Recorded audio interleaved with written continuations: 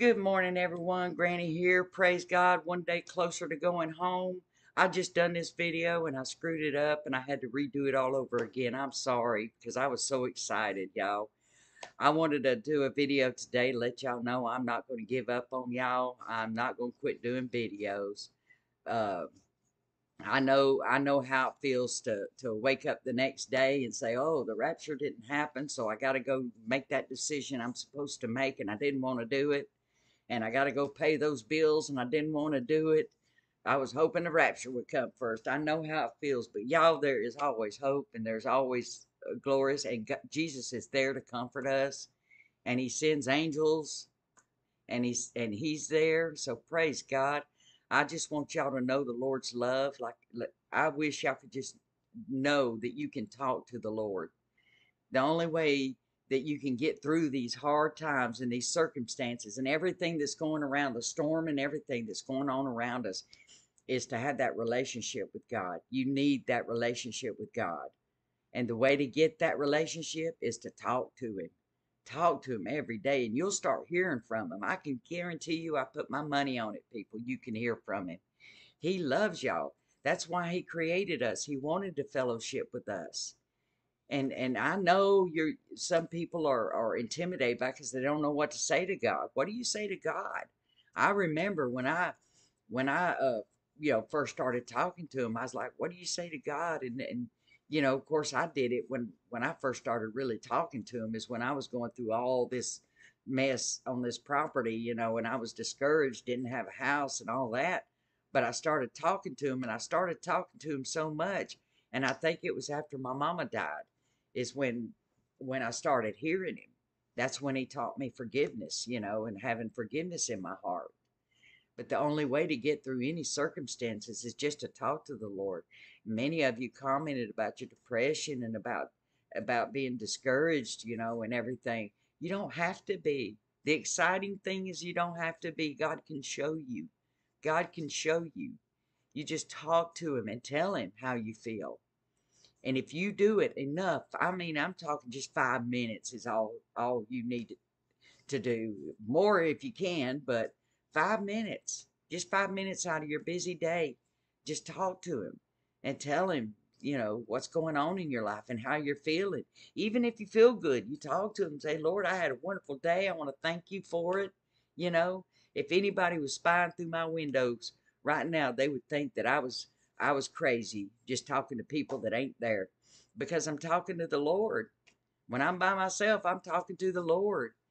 And when I give him that time, he always, always comes back. If, if it's with circumstances or troubles that I'm having, he always comes back and, and gives me something comforting, something that I can work with through the circumstances.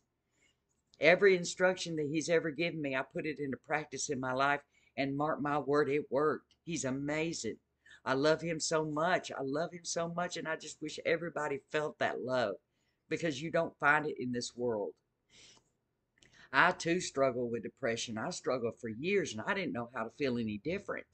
I didn't know that there was any different feelings. I thought I was just, you know, that I was just stuck with it. I didn't have insurance, so I couldn't go see no doctor. I mean, so uh, God was the only the only one there. And there's been many times when nobody else was there and God was. God was. Even when I was screwing up and you know, I didn't deserve any of the help that he's given me. I didn't earn it, but he freely helped me. And he gave me a whole different perspective on life. A whole different way of thinking. And it was all from having a conversation with him every day every day. And I love him so much and I love what he's done in my life. And I just wish everybody else would have that experience with him because it's a wonderful experience. And I'm all excited because I know I know he's coming to get us. And I got to thinking about the rapture, you know, and everything and and I remembered my dream and I remembered it was it was a, a small town in my dream, you know, and all the buildings were close together, and the people were walking on the streets, and it was just full of people walking, going to and fro, and and just busy. And the other day, I watched an hour long video, And this man goes around the streets of Jerusalem with a camera and he walks around. It was during the Feast of the Trumpets, I believe. And he was walking around with a camera. You can find it on YouTube. And uh, it was an hour long video and he was walking around the streets of Jerusalem. And I remember thinking, that's that's exactly what I saw in my dream. The buildings were close and the, the buildings were the same color as what was in my dream, but it was nighttime. So it makes me wonder, since it was nighttime in my dream in Jerusalem, it must be going to be daytime here. I just wonder. I mean, don't don't take it, you know, serious what I'm saying here because it's just makes me wonder because in my dream the streets look like the streets of Jerusalem with that man was walking around with a camera. And it was nighttime. And maybe it's going to be daylight here because nothing uh, here looks like that. Nothing I see here looks like what it did in my dream. But that the streets of Jerusalem's did. And also the fact that, that uh, I saw the man running across the sky and giving Jesus a hug, which made me want my hug, you know. And I I even told my brother, I said, I think that man that was because his clothes didn't look like anything that we wear nowadays. I'm thinking he was the dead in Christ that rose first. And he run over there and gave Jesus a big hug, and I said, I want my hug. So I didn't know how to get up there, and I started running, and I just appeared up there. So he gave us this. He gave us this. We're we're go, it's going to happen. Just don't know when. But we just got to hang in there and hang on to that love that the Lord has given you. Man, he, he gives it so freely. He loves us unconditionally. No matter what we've done, no matter what we've done and mistakes we've made, we learn from our mistakes. We put our hand on a hot plate, we know it's hot. We ain't to put it on there again.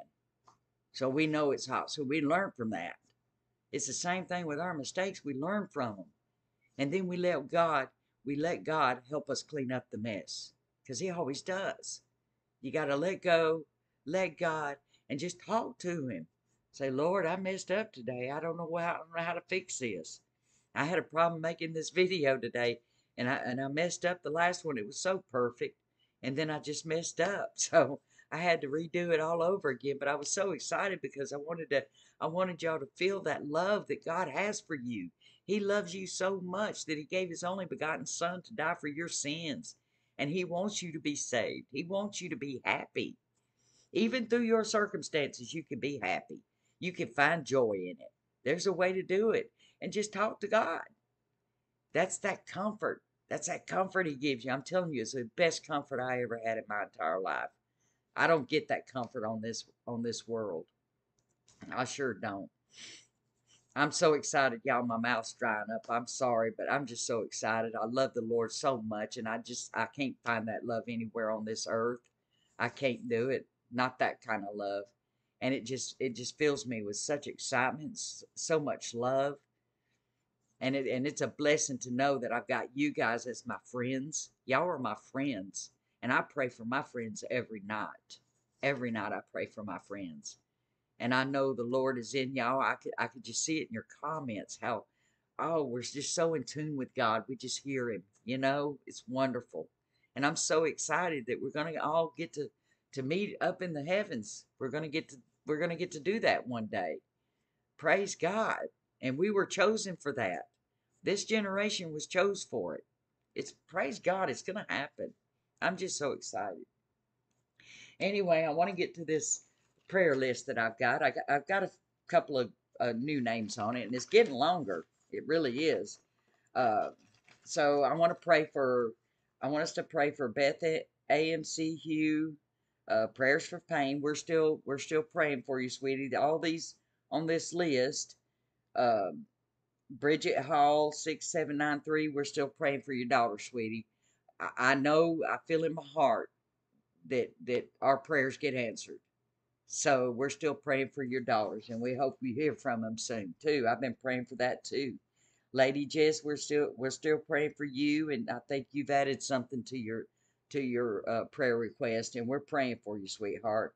Um, Steve, I can't really pronounce the name D E G A G N E twenty nine oh one.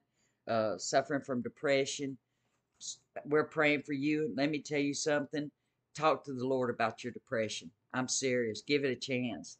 He will change your life like he did me. Man, I, I suffer no more from depression. I mean, it, it felt good to finally be gone and rid of it. But, you know, just just talk to the Lord about it.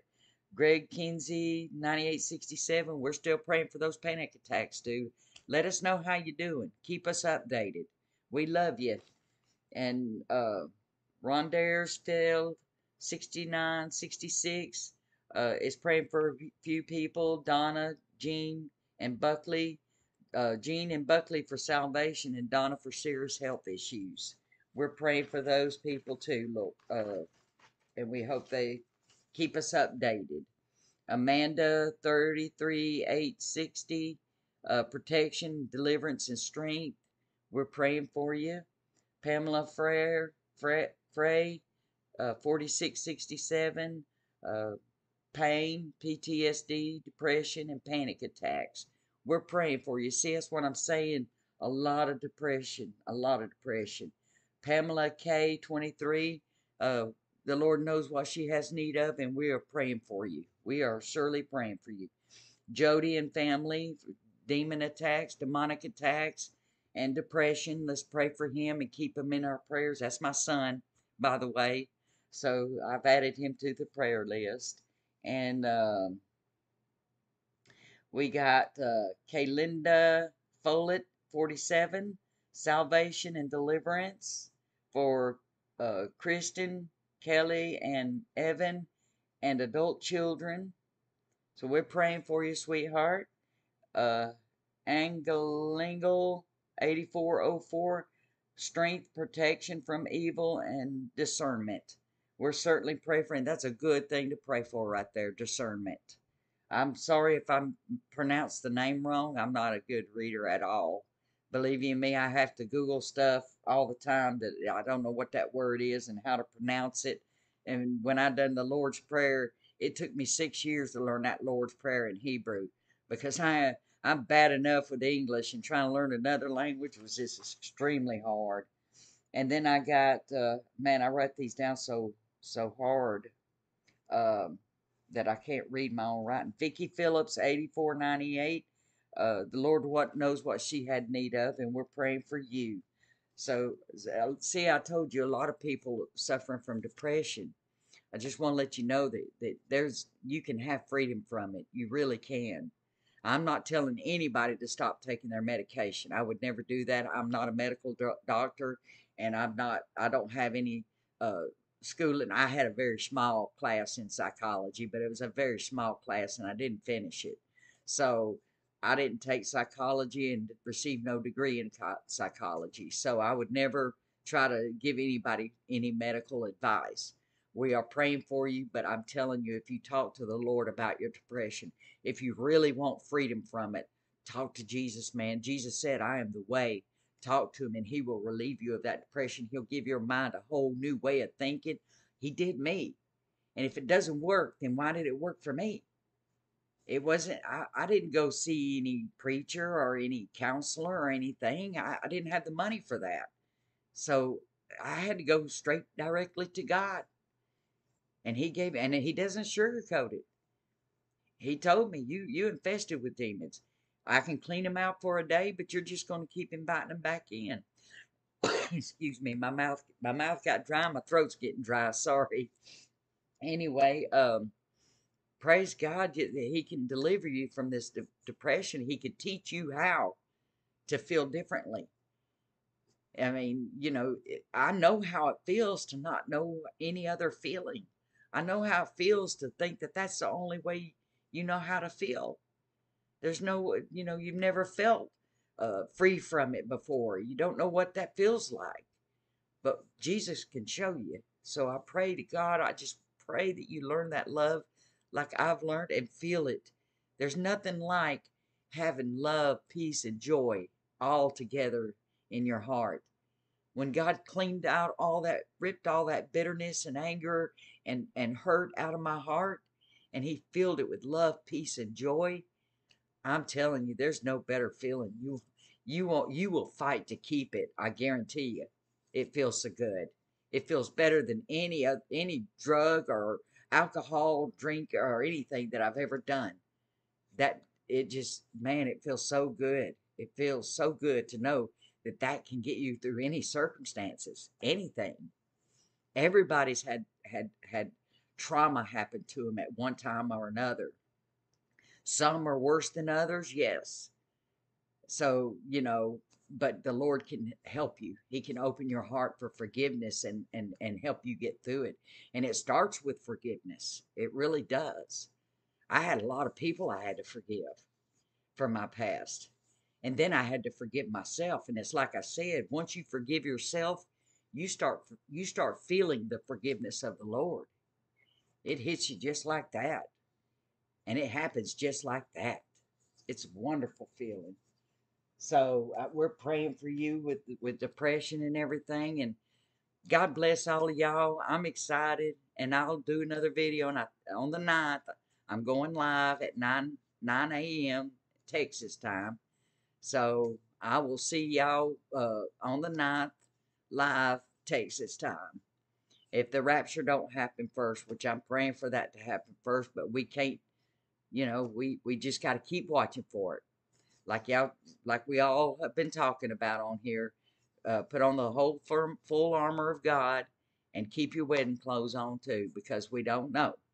Be ready for anything and everything. So, anyway, I love you. God loves you. He loved you first. And thank y'all for watching.